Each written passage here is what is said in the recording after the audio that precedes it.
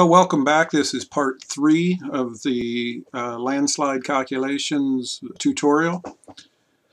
In this section, we're going to uh, use some of the values that we have created in ArcMap to uh, plug into a spreadsheet that contains uh, some other data and some formulas. The data that we're going to collect is mean, relief ratio, and area in kilometers. Over in Moodle, you will probably see uh, a link in open like this. Click Enable Editing. You may want to file and save as your own file somewhere on a C drive, for example, and work from that. If you're in this course, on Moodle and you want to use Google Sheets, which will work exactly the same, you are looking for this link, click OK, and the debris volume calculation should open in a browser window that should look very similar. I'm going to use the Excel version in this tutorial. I press Alt and Tab to select between open files. Or Note that when you open the Excel file that there are uh, dummy variables in yellow here, here, and here.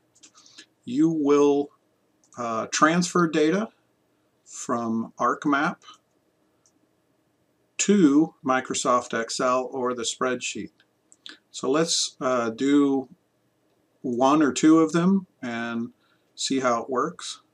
So for watershed number 310, which appears here in Excel, but here in your attribute table, the relief ratio is 0.148661. I right click and copy and I'm just going to paste that here in relief ratio as a value. Now it's hard to see that it says 148661 here but notice it's in the window. You will repeat this process several times over until you have filled in each of these areas. The average basin gradient, this is the mean, so I'm going to copy that one from the mean column over here, 19.2, and the watershed area is area in kilometers, so I want to copy 0.842 over to Excel. And so on until I have them all completed. After you have entered your data from ArcMap into columns D, I, and J, only the yellow columns, uh, don't uh, alter any of the columns in gray. Make sure you familiarize yourself so that you understand that all the calculations for Basin 310 are in row 4. In order to make sure that you've entered this data correctly, uh, you may have to answer several questions in Moodle because if this data isn't entered correctly or transferred over from the attribute table in ArcMap, then you will not be able to answer the questions correctly. If you have answered the questions correctly, uh, you are uh, free to close down ArcMap because we're not using that anymore. Uh, you may want to uh, click Save As and save this to uh, your VSL drive, which would be under My Documents and slash VSL.csn and you could just save it here if you want. And then uh, go ahead and close. And focus now instead on your spreadsheet. If you have entered uh, the data correctly, you should have the value for sum here. Should match this value. It's at this point that you will begin to see the value of putting your data into a model inside a spreadsheet. Inside the spreadsheet, you are able to manipulate particular assumptions about um, an area. So for example, we're going to manipulate here uh, the inches of rain per hour from one inch, which is a pretty heavy rainfall, uh, to 0.6. So I just typed in 0.6 in cell B3 and that will have altered, you will notice over here, the sum of the total debris produced in this watershed.